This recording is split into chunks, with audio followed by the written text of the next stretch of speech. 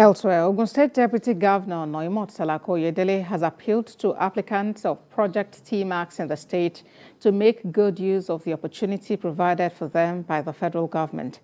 Mr. Salako Yedele made the appeal during the flag-off of the screening exercise at the Government Technical College, Idi-Aba. She commended the federal government for considering Ogun State as one of the seven pilot states for the project. On his part, the senior special advisor to President Muhammadu Buhari on education interventions, Fela Bankolemo said 42,000 youths applied for the training in Ogun State and they can only consider 2,000. He added that 18 centers have been certified in the state for the smooth takeoff of the free training. Two million young people in Ogun State who could potentially have also registered for this program.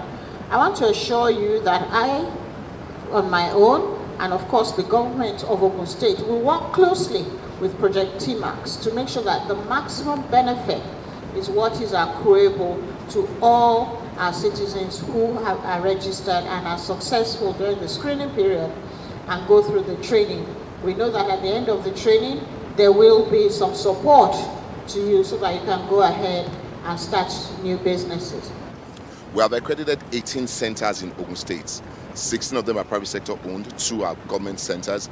And um, after we finish the screening over the next um, Tuesday, Wednesday, next week, when we finish the screening, then the training will start a week after. You know, but the exciting thing is to see the number of people are excited, they want to be part of the program.